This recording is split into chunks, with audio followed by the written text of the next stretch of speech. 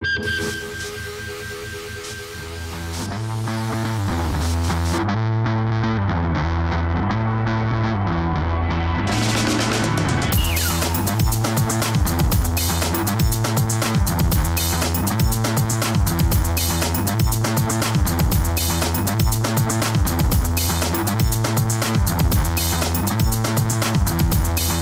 unique school challenge took place in Canberra in September when years 10 to 12 high school students from Braidwood, Goulburn, Harden, Queanbeyan, Yass, and Young took on each other in an attempt to win the inaugural CAMS School Challenge.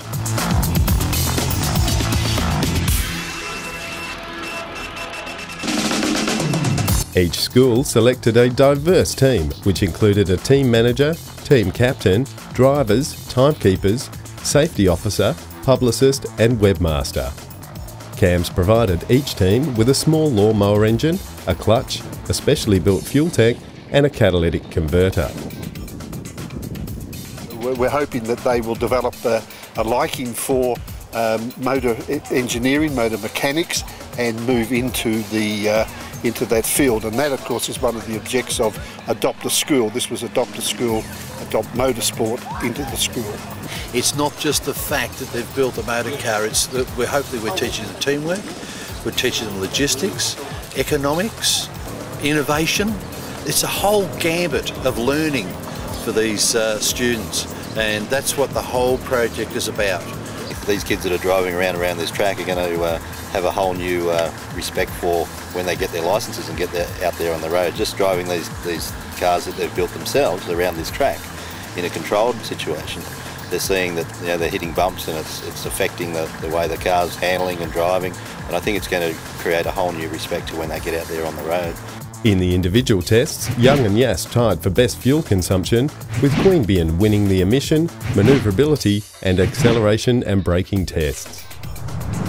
The Best Presented Vehicle and Best Vehicle Design and Innovation Awards went to Yass, while Murrumburrah won the Best Communication Award for outstanding efforts to promote the challenge and the team's involvement in it.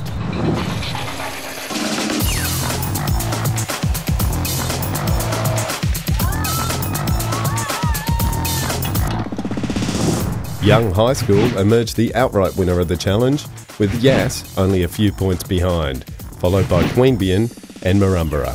I'm pretty happy with how we went. Yeah. We improved a lot by our whole team helping and giving hints and Kieran went first and we did a lot better the second round, so we're pretty happy with that. And we're here at CAMS today because we're having a ball.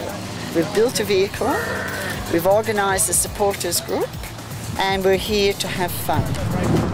The school challenge aims to develop road safety awareness, personal and car driving skills, and encourage the recreational activities of motorsport within Australia.